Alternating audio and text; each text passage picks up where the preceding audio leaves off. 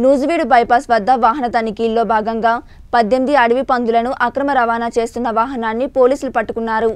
వన్యప్రాణుల సంరక్షణ చట్టం కింద కేసు నమోదు చేసి ఇద్దరు వ్యక్తులను అరెస్ట్ చేసి వాహనం సీజ్ చేశారు. తెలంగాణ ప్రాంతం ఖమ్మం నుండి ఆంధ్రాలోని ఉంగుటూరు మండలం త్రేలప్రోలకు తరలిస్తుండగా పోలీసులు పట్టుకున్నారు.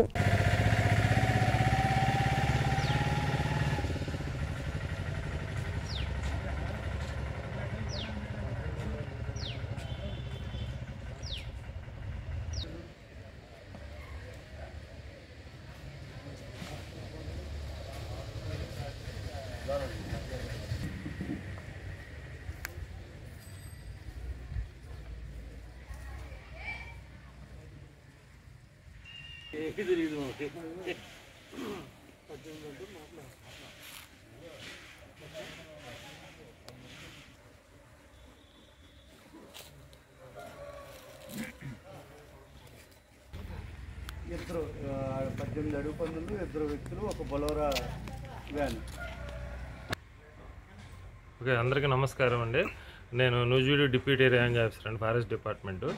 ఈరోజు మధ్యాహ్నం ఒంటి గంట సమయంలో మాకు ఎస్ఐ గారు అదే సిఐ గారు ఫోన్ చేసి ఇట్లా వెహికల్ చెకింగ్ ఉన్నప్పుడు అన్నవరం రోడ్లో ఒక పదిహేడు వైల్డ్ బోర్స్ అంటే అడవి పందుల్ని వెహికల్లో ఉండటం గుర్తించడం జరిగిందని చెప్పారు.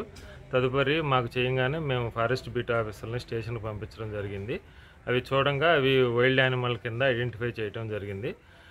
సదరు వెహికల్ ప్లస్ ముద్దాయిల్ని సదరు బతికున్న వైల్డ్ బోర్న్స్ కూడా మాకు హ్యాండ్ ఓవర్ చేయడం జరిగింది.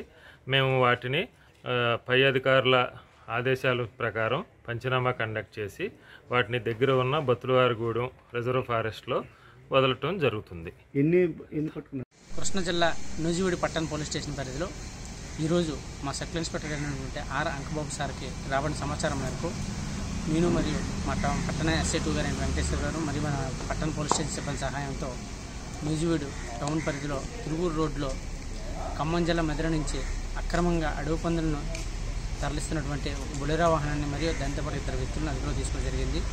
వీటితో పాటుగా పద్దెనిమిది ఈ యొక్క అడవి పందులను కూడా రెస్క్యూ చేసి వాటి వాటందరిని కూడా అడవి పందులన్నింటిని కూడా మన ఫారెస్ట్ అధికారులకి అందజేయడం జరిగింది. అదేవిధంగా ఆ యొక్క బులెరో వాహనాన్ని సీజ్ చేసి ఇద్దరు వ్యక్తులు కేసు నమోదు చేయడం జరిగింది. ఈ విధంగా వన్యప్రాణి పట్ల ఎవరైనా కూడా అక్రమంగా తరలించినట్లయితే వారిపైన చట్టపరమైన చర్యలు తీసుకోబడుతుందని తెలియజేసుకుంటున్నాం. Thank you